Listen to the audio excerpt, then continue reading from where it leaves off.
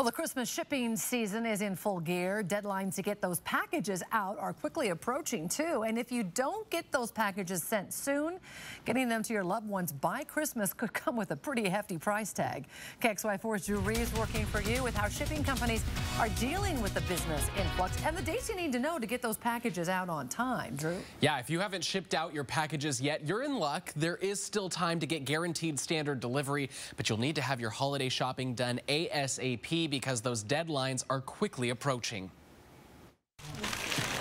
If you're heading over to UPS, the longer you wait, the longer you can expect the line to be. Typically, we just stand here and we don't move for hours. I mean, it's just one right after the other all day. Rebecca Rogstead owns several local UPS stores. She says during the holiday rush, each store is shipping several hundred packages a day.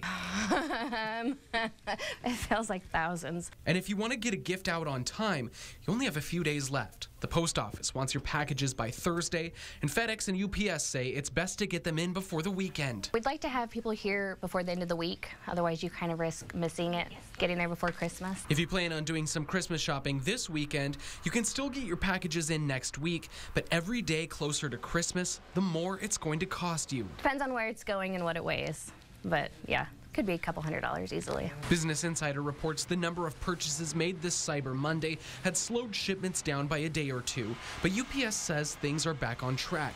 However, if you still have some online shopping to do, the longer you wait, the less likely it is those items will arrive in time to get under the Christmas tree.